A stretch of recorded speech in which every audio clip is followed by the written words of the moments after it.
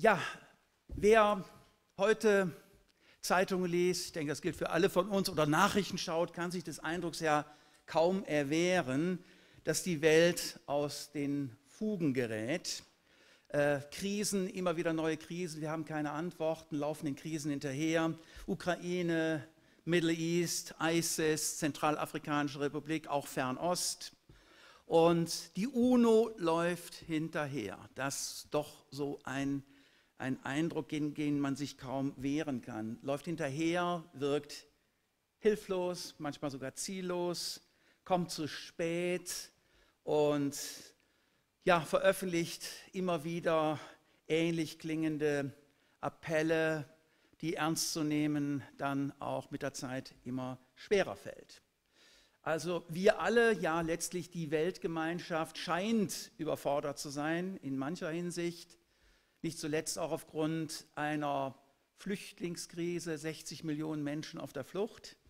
Dass wir übrigens von Flüchtlingskrise reden, ist erst der Fall, seit ein Teil davon auch in Europa ankommt. Wir haben zum Beispiel überhaupt nicht mitgekriegt, dass ungefähr 20 Millionen Menschen in den letzten 20, 30 Jahren aus Bangladesch abgewandert sind. 20 Millionen Hindus geflohen aus Bangladesch, hat keiner von uns mitgekriegt. Ne? Also so ein bisschen sind manchmal Wahrnehmungen auch äh, eng. Ja, Menschenrechte, auch da das Gefühl, wir stecken in der Defensive, wir stecken in der Krise. Die Lage wird schwieriger. Ich nenne nur drei zufällige, drei zufällig herausgenommene Länder, Russland, China, Saudi-Arabien, alle seit Jahren notorische Menschenrechtsverletzer, aber in all diesen drei Staaten wird es immer heftiger, immer schlimmer, scheinbar hoffnungsloser. Und nochmal eins draufgesetzt, diese drei Staaten, die ich jetzt in der Tat eher zufällig rausgepickt habe, Russland, China, Saudi-Arabien, sind oder waren in der Herzkammer der UNO-Menschenrechtspolitik, nämlich im Menschenrechtsrat. Was jetzt für die UNO nicht nur Effizienzprobleme und Fragen aufwirft, sondern außerdem noch ein enormes Glaubwürdigkeitsproblem mit sich bringt. Das ist Anlass für sarkastische Kommentare. Ich teile manchen Sarkasmus, was die UNO angeht, aber es ist wichtig, dass der Sarkasmus dann nicht in Zynismus abgleitet. Wer sarkastisch ist, leidet unter enttäuschten Hoffnungen. Wer zynisch ist, hat alle Hoffnungen fahren lassen. Das von Skeptikern gezeichnete Bild der UNO, auch der UNO-Menschenrechtspolitik, ist nicht falsch. Es ist allerdings unvollständig und deshalb sollten andere Aspekte auch zu Wort kommen.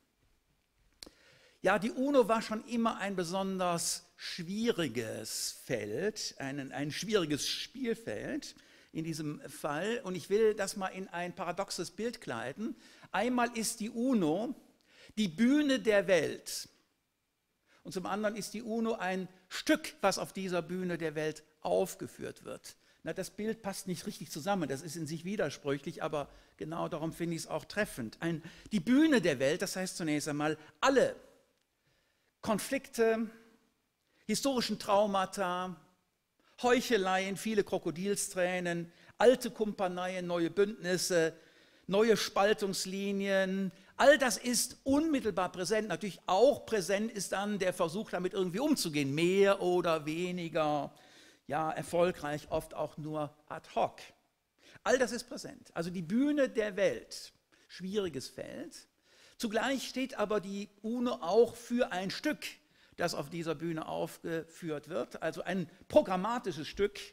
Und auf diesem, im Titel dieses Stückes steht dann unter anderem auch Menschenrechte.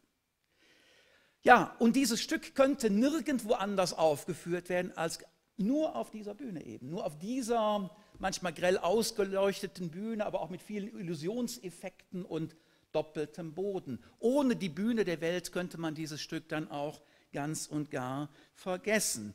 Und die Konsequenz will ich eben bei aller Kritik, bei aller berechtigten Kritik in der UNO nicht gezogen sehen. Es gibt eben auch viel echtes Engagement bei Staaten, auch bei vielen Diplomaten. Es ist ja nicht so, dass die alle nur im Zirkus der Eitelkeiten bei Cocktailempfängen mitmachen. Da gibt es echtes Engagement. Natürlich auch bei NGOs.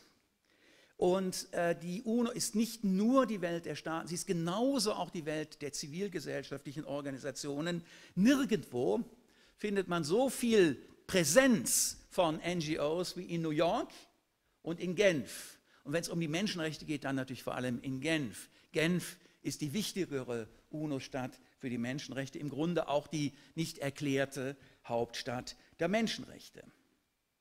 Also in diesem Stück, was auf der merkwürdigen Bühne der Welt aufgeführt wird, geht es unter anderem um Menschenrechte, um ein Versprechen der Weltgemeinschaft, das nicht eingelöst ist, das aber auch nicht völlig leer geblieben ist, sondern irgendwo hängen geblieben ist. Also wir stecken sozusagen auf einem langen Weg irgendwo mittendrin.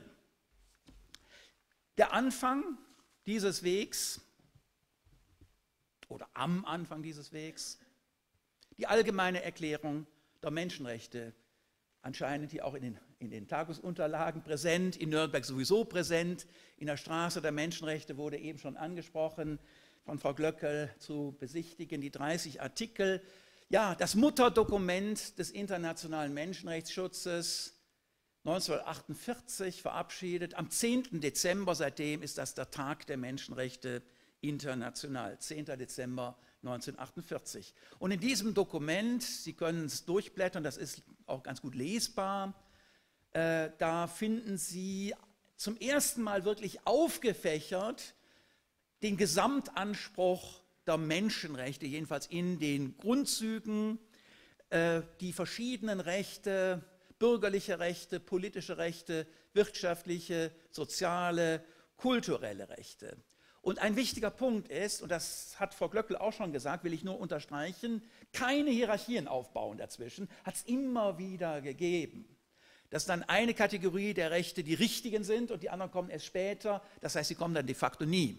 Ja, wenn wir erstmal die Hausaufgaben vollständig erfüllt haben müssen, in der einen Kategorie, ehe die anderen zum Zuge gehen kann. Nein, alle äh, diese Menschenrechte sind als integral zu sehen. Bürgerliche, politische, wirtschaftliche, soziale, kulturelle.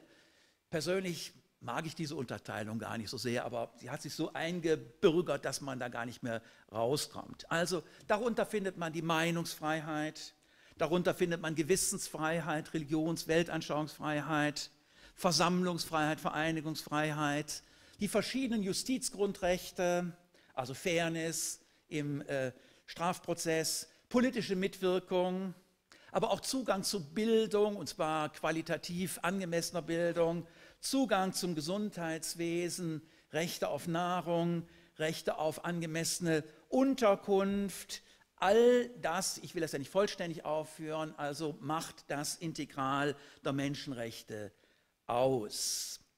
Und diese Menschenrechtsartikel sind eben kein Sammelsurium einzelner Rechte, sondern sie haben eine Struktur, eine gemeinsame Struktur und zu allerletzt, oder auch zuallererst, wenn man so will, nämlich in Rückbindung an die Würde des Menschen.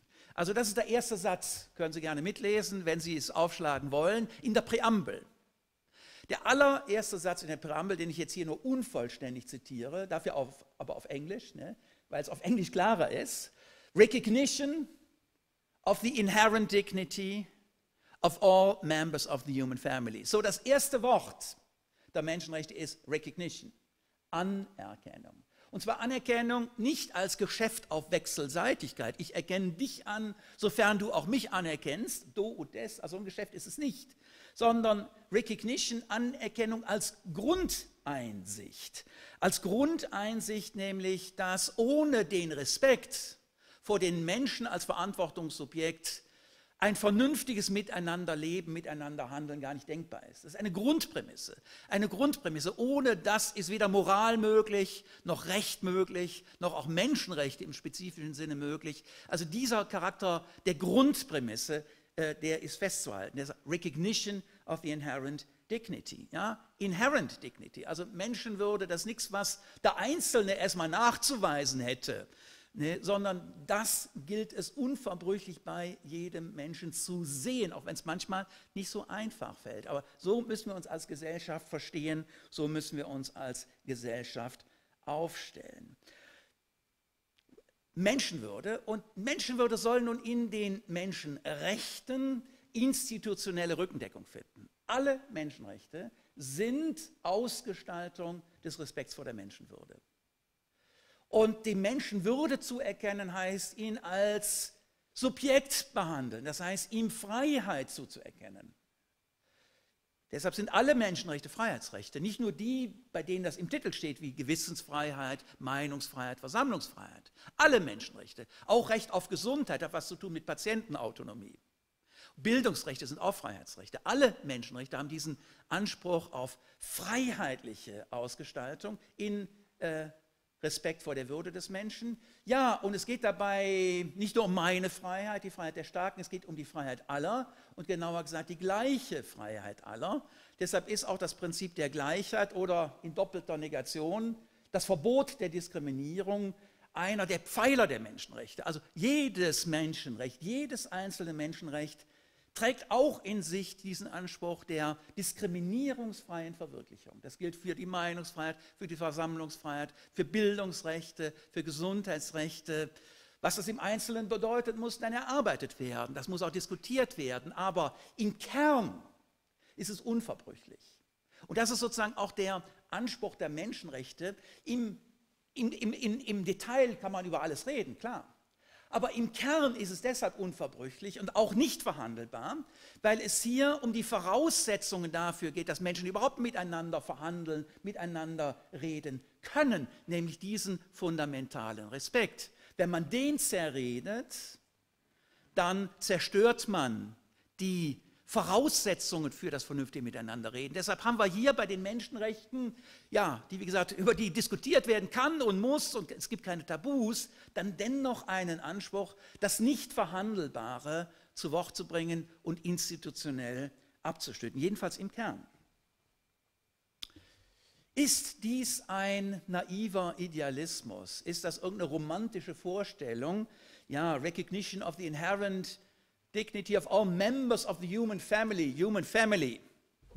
Antwort natürlich nicht. Und an keinem Ort ist das so klar wie in Nürnberg, das haben wir auch gerade schon gehört äh, in den äh, Eingangsworten.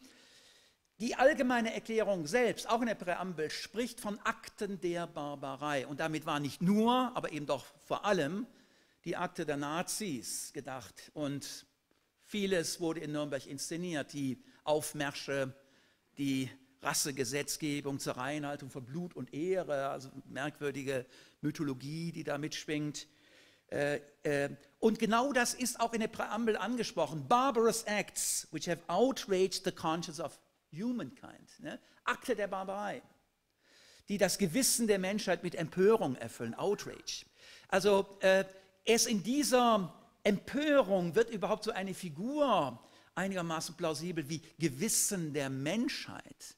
Gewissen der Menschheit, das ist nicht irgendein idealistisches Postulat, sondern das ist sozusagen eine ja, himmelschreiende Notwendigkeit. Ja, die Weltgemeinschaft muss darauf reagieren. Und also da sieht man einen Zusammenhang.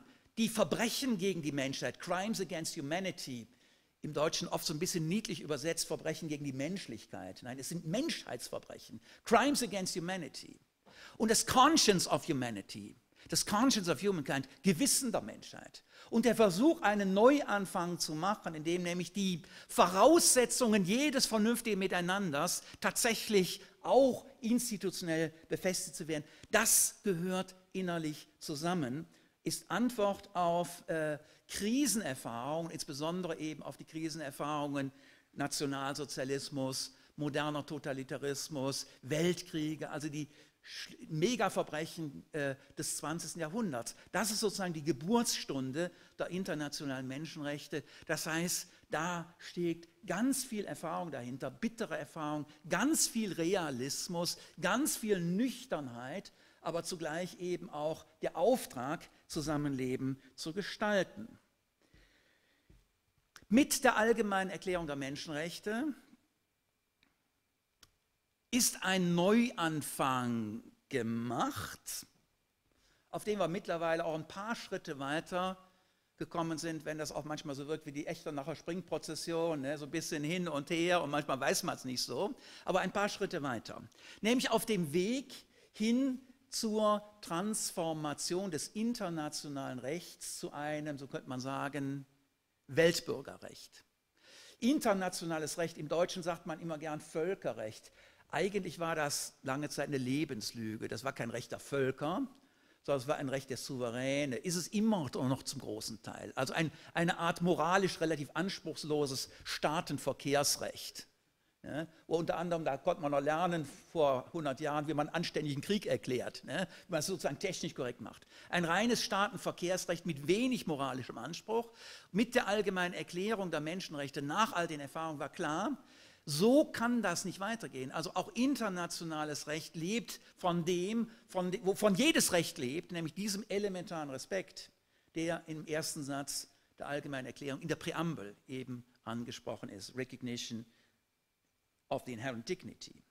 Äh, also Menschen sind seitdem Subjekte auch im internationalen Recht, und zwar rechtlich geschützte Subjekte. Und damit ist sozusagen wenigstens der Anfang gemacht hin zu einer Transformation äh, des klassischen Völkerrechts oder des internationalen Rechts hin zu einem Weltbürgerrecht. Ja, da stecken wir irgendwie mittendrin. 1948 der Auftakt. Damals glaubte man, es würde dann einigermaßen zügig weitergehen.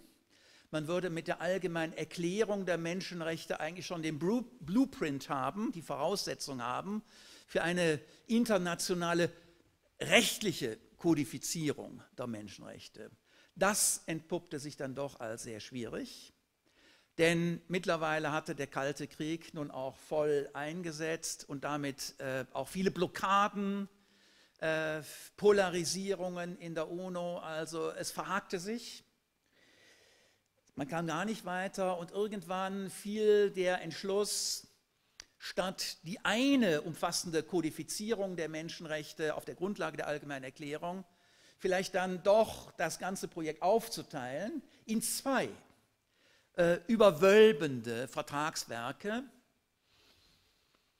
Und die sind dann 1966 in Gang gebracht worden, nämlich der Internationale Pakt über bürgerliche und politische Rechte und der Internationale Pakt über wirtschaftliche, soziale und kulturelle Rechte. Ist unglücklich, dass das, was in der Allgemeinen Erklärung der Menschenrechte noch zusammenstand, jetzt auseinandergenommen wird, aber man glaubte damit schneller und besser voranzukommen. 1966, wir werden demnächst den 50. Geburtstag äh, dieser beiden umfassenden Menschenrechtspakte feiern, die gemeinsam sozusagen die Substanz der allgemeinen Erklärung in verbindliches Völkerrecht transformieren. Die sind dann auch ein bisschen schwieriger zu lesen, würden sich nicht so eignen für so ein kleines Heftchen. Ne? Das wäre dann sicher zwei Zentimeter dick, ne? kriegt man gar nicht mehr auseinander. Äh, ja, 50. Geburtstag, vielleicht aber auch nur der 40. Geburtstag, denn äh, das hat noch zehn Jahre gebraucht, bis diese beiden Pakte dann tatsächlich rechtlich in Kraft treten konnten, weil nämlich Voraussetzung dafür war, dass dann Staaten das auch in ihr internationales Recht bringen, dass sie es ratifizieren und da muss dann der nationale Gesetzgeber ran. Ja? Und diese Ratifizierungen, ja, das war auch ein zäher Prozess und die gar nicht besonders anspruchsvoll formulierte Schwelle war dann erst zehn Jahre später erreicht. Also streng genommen könnte man sagen, erst seit 1976, vor 40 Jahren, erst seit 1976 haben wir Menschenrechte als international verbindliche, rechtsverbindliche Vorgabe in der internationalen Politik. Ja, also wir stecken sozusagen da immer noch in einem historisch gesehen relativ frühen Stadium der Internationalisierung äh, oder der, der, der Verrechtlichung äh, dieser äh, universalen Menschenrechte. Ja, diese beiden Pakte von 1966 oder, wenn man so will, in Kraft getreten 1976, sind mittlerweile, das ist die gute Nachricht, von beinahe 90 Prozent der Staaten ratifiziert worden. Und typischerweise haben die Staaten beide ratifiziert, sonst wäre die Zahl von beinahe 90 Prozent ja auch nicht zustande gekommen. Das ja, schlichte Mathematik. Äh, das heißt also, die Befürchtung, die Welt würde sich sozusagen aufspalten in Staaten, die den einen nehmen und den anderen liegen lassen oder den anderen Pakt für sich nehmen, äh, diese Befürchtung ist Grotto Mosso nicht eingetreten, sodass man mit gutem Recht spricht von den Zwillingspakten. Und wenn man sagt Zwillinge, heißt es, die haben eine gemeinsame Geburt. Ja, das heißt, man kann sie tatsächlich auch gemeinsam auf das Mutterdokument, die allgemeine Erklärung der Menschenrechte, wiederum zurückbeziehen. Äh, also die Substanz dessen zwar in zwei Vertragswerken ausdifferenziert, aber doch immer mehr äh, auch in der Folgezeit dann wieder als integral verstanden, gegen alle Tendenzen einer hierarchischen Abstufung. Das eine sind die wahren, das andere sind die nicht so wichtigen Menschenrechte. Damit wird das Gesamt der Menschenrechte beschädigt werden. In den letzten Jahrzehnten sind dann andere Menschenrechtsverträge hinzugekommen und wiederum sehe ich es nicht als meine Aufgabe, sie jetzt mit allerlei äh, Kürzeln und Hausnummern und Zahlen zu äh, traktieren. Ich nenne nur exemplarisch ein paar, also etwa die Konvention gegen Rassendiskriminierung, streng genommen ist sogar ein kleines bisschen älter als die beiden gerade genannten. Dann die, Diskrimin die, äh, die äh, Konvention gegen Diskriminierung der Frau, Anti-Folter-Konvention, äh, Kinderrechtskonvention und vor nicht einmal zehn Jahren, noch relativ jung, die Behindertenrechtskonvention. Wir haben ja eben auch den Begriff Inklusion schon gehört, der zwar nicht durch diese Konvention erfunden worden ist, der gibt es schon ein bisschen länger, aber dadurch eine besondere Schubkraft bekommen hat. Also äh, er ist durch diese Behindertenrechtskonvention von 2006 eigentlich dann erst als Menschenrechtsbegriff dann doch etabliert worden, als Leitbegriff äh, und äh, äh, also in die Menschenrechtsdebatte auch über das Thema Behinderung hinaus besonders wichtig geworden. Wie steht es um die Wirksamkeit der Menschenrechte? Bringt das Ganze was? Ich bin skeptisch eingestiegen und für Skepsis ist Anlass. Also niemand kann auch nur halbwegs zufrieden sein mit dem, was die Menschenrechtskonventionen auf UN-Ebene in der Praxis bewirken. Und ähm, da erlebt man nach wie vor also viel Doppelbödigkeit, viel Heuchelei. Ich finde Heuchelei aber ein interessantes Phänomen äh, und äh, vielleicht auch einen gar nicht schlechten Einstieg. Äh, äh also Vielleicht erinnern Sie sich, die Älteren, an ein deutsches Sprichwort, das habe ich allerdings außer aus meinem eigenen Mund in diesem Jahrhundert noch nie gehört. Ich zitiere es manchmal, ne? ähm, nämlich, die Heuchelei ist das Kompliment, das das Laster der Tugend macht. Klingt altmodisch, Laster und Tugend, ne? auch nicht so ganz mein Sprachgebrauch. Aber das heißt also, Heuchelei steht für das Bedürfnis, irgendwo eine Fassade aufzubauen, was jedenfalls rhetorisch zuzugestehen, was möglicherweise nicht ganz echt ist. Aber es kann manchmal sein, dass dann hinter den Fassaden sich trotzdem was entwickelt. Weiß man nie so genau. Und äh, der ein bisschen ironische Approach der Menschenrechtsbewegung von Anfang an, das kann man wirklich bis ins 18. Jahrhundert zurückverfolgen, war, entsprechende Fassaden immer einigermaßen ernst zu nehmen. Oder ich sage es mal anders, rhetorische Commitments von Staaten ernster zu nehmen, als sie möglicherweise gemeint waren. Man weiß es ja nie ganz sicher. Ne? Da kann manches auch nachwachsen sozusagen. Also äh, man kann sich an das gewöhnen, was man immer im Munde führt.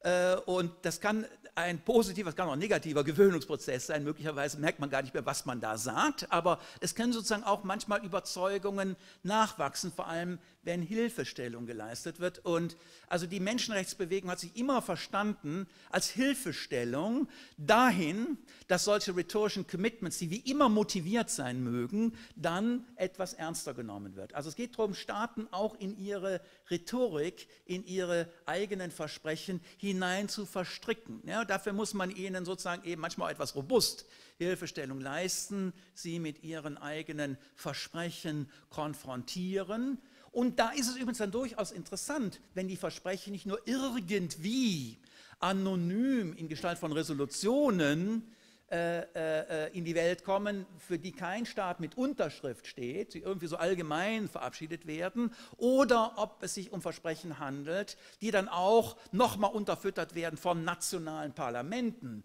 die sich dann in Ratifizierungsprozessen damit eingehend beschäftigen müssen. Also das ist dann schon ein großer Unterschied. Deshalb also auch der Rechtsstatus dieser Normen über bloß moralische Postulate hinaus ist ein Element der Institutionalisierung, der Erhärtung von Verbindlichkeiten und damit jedenfalls potenziell auch ein Schritt zu mehr Effizienz.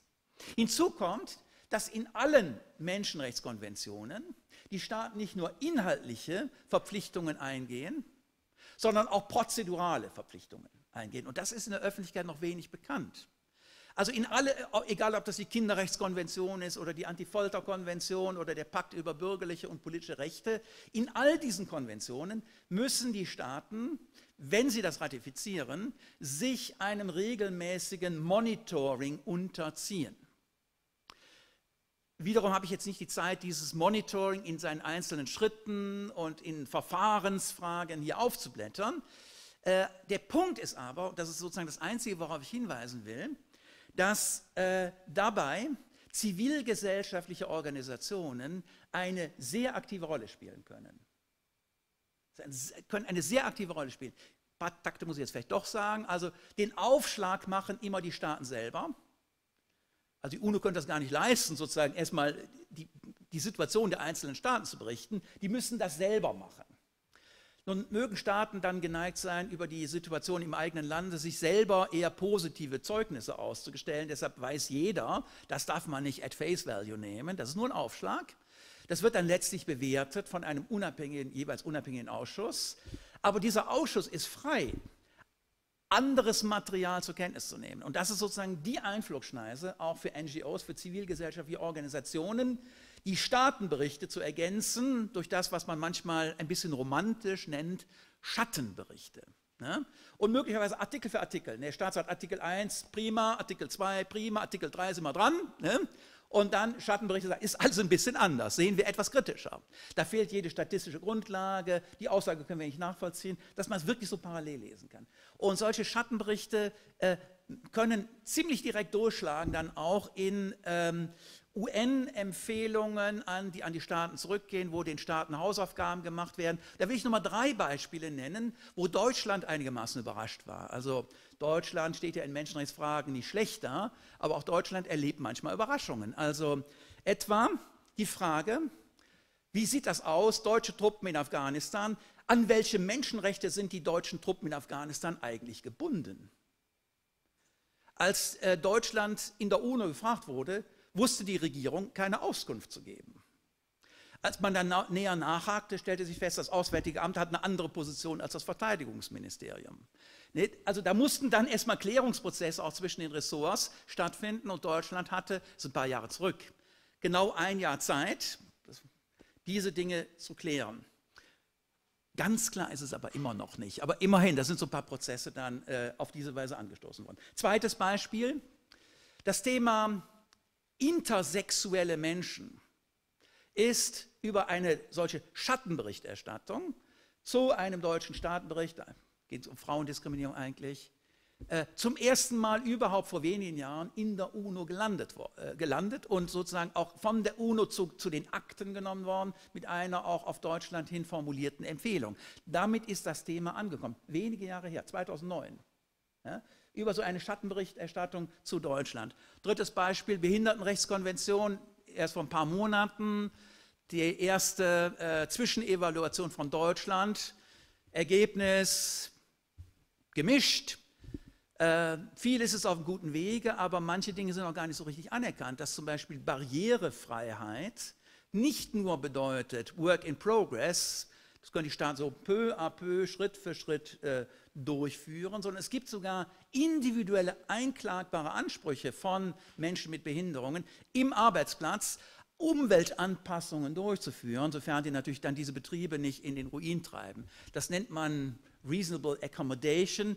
Das Prinzip war noch gar nicht verstanden worden, auch von der deutschen Regierung offenbar. Ne? Äh, ist einer der innovativsten Elemente. Ich will nur sagen, also auch da gibt es Überraschungen in Deutschland. Und äh, ich wollte nur Beispiele, klitzekleine Tupfer setzen, die deutlich machen, diese Verfahren können was bringen, können was anstoßen.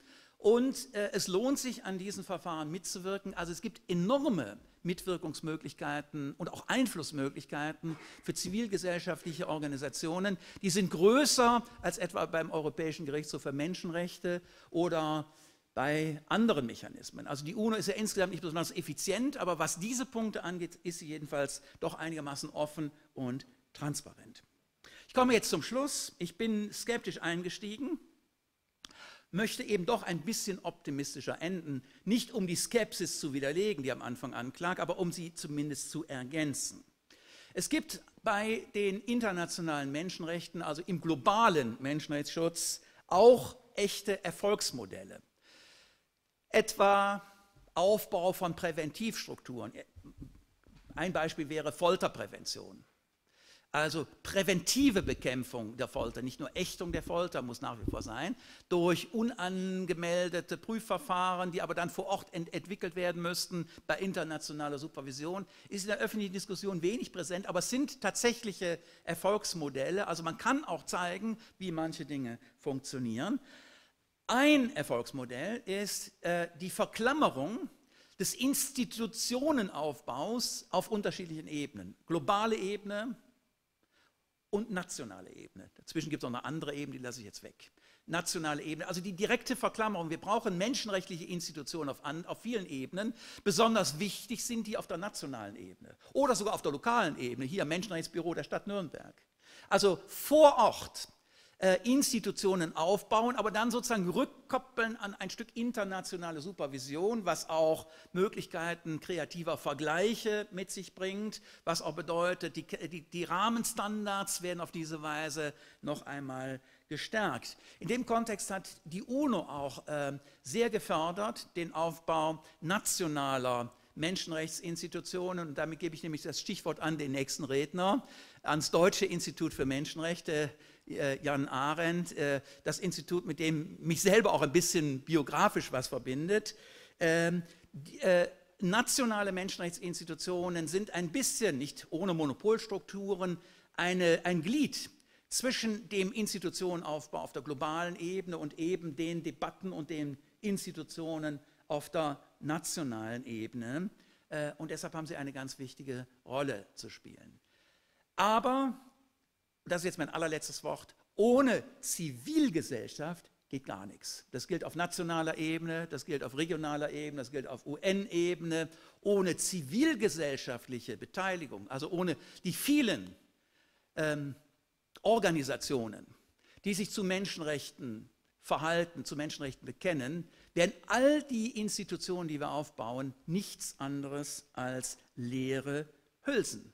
Wir brauchen breite Ownership, breite Mitwirkung, breites Interesse in diesem Sinne. Dank an Sie alle und viel Glück für Ihre weitere Arbeit.